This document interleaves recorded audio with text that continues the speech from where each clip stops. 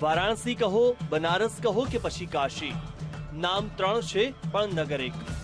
ભગવાન શિવની આ નગરીની બે ઓળખ છે. એક ગંગા અને બીજી આ નગરમાં વસતા વણકરો. હાલ બંનેની હાલત દયનીય છે.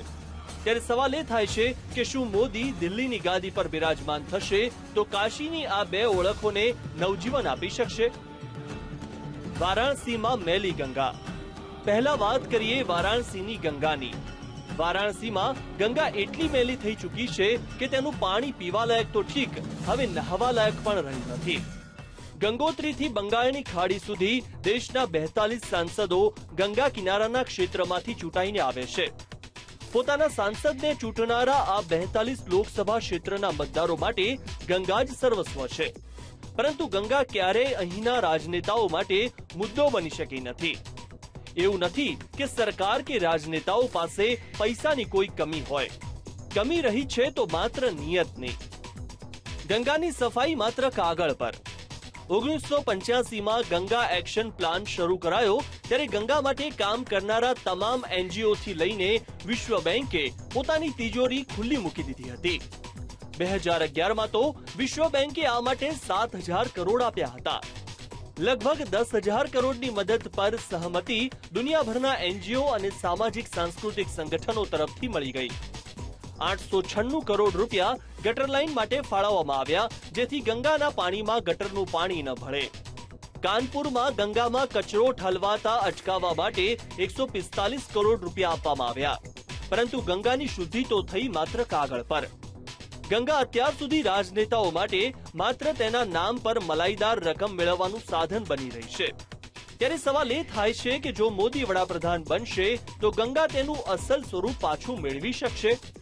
વારાણસીમાં વણકરોની દુર્દશા. હવે વાત કરીએ વારાણસીના વણકરોની.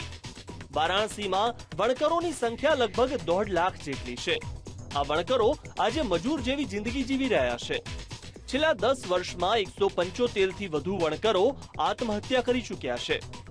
વણકરોના હુનર સામે પહેલા મશીનો પડકારરૂપ બન્યા અને બાદમાં વીજળીના સંકટે મશીનોને પણ ખોરવી નાખ્યા.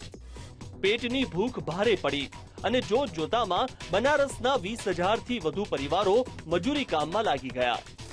બનારસની આસપાસના ગામડાઓમાં ખેતરોમાં કામ કરતા મજૂરોને તેમજ અહીં સિમેન્ટની બોરીઓ અને ઈંટો ઉચકતા મજૂરોને જો રોકીને પૂછો, તો ખ્યાલ આવે કે દર પાંચમાંથી એક મજૂર મૂળ તો વણકર છે કેવી રીતે આ હુનર તેમના પરંપરાગત વ્યવસાય તરફ પાછું વાળી શકાશે, તે એક મહત્વનો સવાલ છે.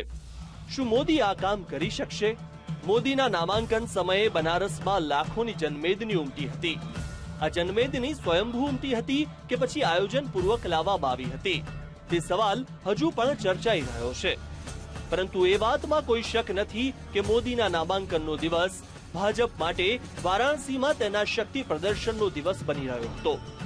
જો આ ભીડ વાસ્તવિક હોય, તો એ વાત સ્વીકારવી પડશે કે વારાણસીના લોકો મોદીમાં તેમનું ભાગ્ય પરિવર્તન જોઈ રહ્યા છે. આમાં એ વણકરો સામેલ છે જેઓ તેમના પરંપરાગત વ્યવસાય તરફ પાછા ફરવાનું સ્વપ્ન આંખોમાં આંજીને બેઠા છે. અને એ ગંગા નદી પણ સામેલ છે, જે એક એવા નેતાની રાહ જોઈ રહી છે, જેને તેના નામ પર મળતી મલાઈદાર રકમમાં નહીં, પરંતુ તેનું વાસ્તવિક મહત્વ ઓળખીને તેની અસલ શુદ્ધ ધારા પાછી આપવામાં રસ હોય. શું મોદી આ કામ કરી શકશે કે પછી વારાણસીના લોકોના નસીબમાં ફરી એકવાર છેતરાવાનું જ લખ્યું છે? નામાંકનના દિવસથી વારાણસીમાં મતદાન દિવસ વચ્ચેના દિવસોની સંખ્યા અઢાર છે. મહાભારતનું યુદ્ધ પણ અઢાર દિવસ ચાલ્યું હતું. ત્યારે કુરુક્ષેત્ર હતું. આજે કાશી છે. ટોચના રાજકીય પક્ષો જે રણનીતિઓ અપનાવી રહ્યા છે તે પણ મહાભારતના કાવા દાવાઓથી ક્યાંય ઉતરતી નથી. મોદીએ દિલ્હીની ગાદી સુધી પહોંચવા માટે વાયા વારાણસીનો માર્ગ પસંદ કર્યો છે. ત્યારે જોવાનું એ રહેશે કે સત્તા મેળવ્યા બાદ શું મોદી વારાણસીની આ જટિલ સમસ્યાઓને દૂર કરવા પર કામ કરશે કે પછી વારાણસી તેમના માટે માત્ર સત્તા પ્રાપ્તિ સુધીના માર્ગમાં આવતું એક મુકામ બનીને જ રહી જશે. Bureau report, VTV.